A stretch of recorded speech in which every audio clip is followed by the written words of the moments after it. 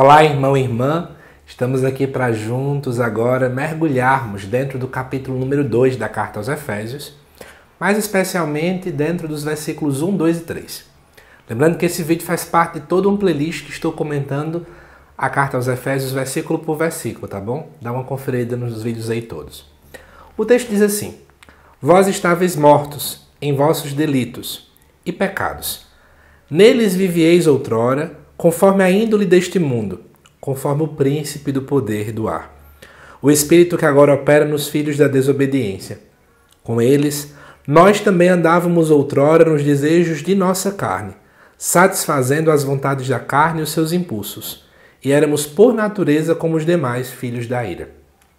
Amados irmãos e irmãs, é interessante você perceber que Paulo, ou quem escreveu a carta, acaba falando da expressão vós. E no versículo 3, nós.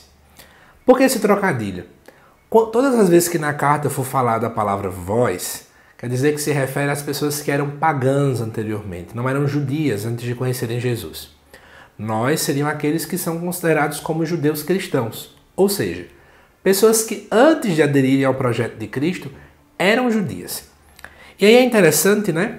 Quando vai falar aqui no versículo 1, de vós que estáveis mortos é justamente para falar de um povo que não tinha união com Deus, que vivia diante de toda uma religião alienante, na idolatria. Estavam mortos por quê? Porque Deus é Senhor da vida. E essa morte que é falada é essa não comunhão com Deus. Não é? Toda aquela dinâmica do que aquele povo vivia. E aqui por isso que ele coloca toda essa questão também dos pecados.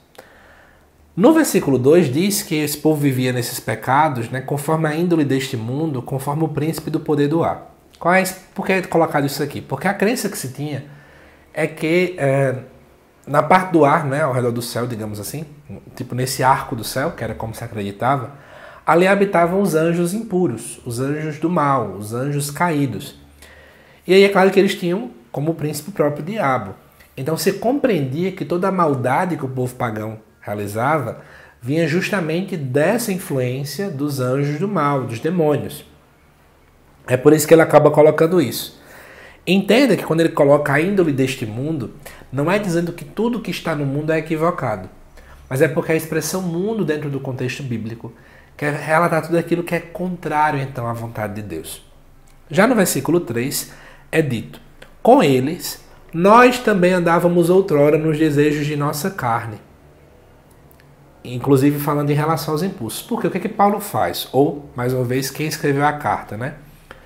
Na verdade, aqui você quer colocar o seguinte: que embora alguns sejam não judeus, ou outros eram judeus antes de, Jesus, antes de conhecerem o Cristo, todos tinham seus pecados. Todos necessitavam da salvação em Jesus. Não importa quem era você antes desse anúncio. Só que ele fala uma coisa aí eu quero chamar a atenção, né? É colocado aqui sobre essa história dos desejos da carne. Durante muito tempo, muita gente sempre coloca que os desejos da carne são desejos sexuais. E parece que os pecados da carne apenas se referem a sexo antes do casamento ou coisas do gênero. Será que é exatamente isso que o texto quer dizer? Então, os desejos da carne, eles sempre se referem à vulnerabilidade humana. Ou seja, às nossas falhas, quando se fala dos desejos da carne, é tudo aquilo que de fato é contrário a Deus. É quando nós alimentamos a nossa vulnerabilidade. Ou seja, eu sei que esse é meu ponto fraco. E aí, mesmo sabendo que é meu ponto fraco, eu vou alimentando aquilo dali e meio que quase escondendo aquilo da graça de Deus. Eu vou dar um exemplo. Digamos que alguém enxerga que é muito orgulhoso. Orgulho não é algo que agrada a Deus. Ponto. Quando eu boto, eu começo a alimentar o orgulho, aquele, aquela influência que eu já tenho, aquela tendência que eu já tenho, então eu estou satisfazendo os desejos da carne. Ou seja, eu estou alimentando a minha vulnerabilidade.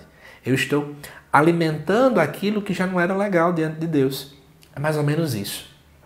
Não ache que desejo da carne é você fazer um gosto pessoal. Ah, porque eu estou com vontade de comer uma pizza, não vou comer uma pizza porque esse desejo da carne. Não. Mas aí eu sei que eu tenho tendência à gula. Então eu preciso me controlar na hora de comer. É mais ou menos nesse contexto. E aí, amados irmãos e irmãs, como reflexão, esses três versículos eu quero deixar o seguinte para você. O texto mostra de modo muito claro né, que não importa quem seja a pessoa, se era judia ou se era pagã, Todos temos os nossos pecados, todos temos os nossos defeitos, todos nós necessitamos de salvação. Primeira coisa, será que a gente se sente mais santo do que os outros? Ah, porque eu não cometi tal pecado no passado, então parece que eu sou melhor do que fulano que fez tal coisa. Comecemos a exercitar a humildade. Segunda coisa que também quero chamar a atenção é que você possa abrir o seu coração para compreender o quanto nós necessitamos da salvação na pessoa de Jesus Cristo. Porque não importa quem nós somos, somos pecadores. Necessitamos desta graça que nos salva e que nos liberta. Que Deus te abençoe, amado irmão e irmã. Aguardo você nos próximos vídeos aqui sobre a carta aos Efésios. Até já!